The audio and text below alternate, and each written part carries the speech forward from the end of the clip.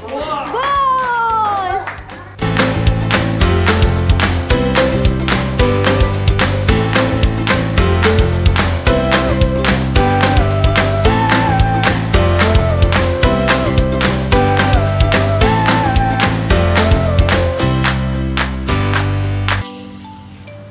guys, now we are going back home.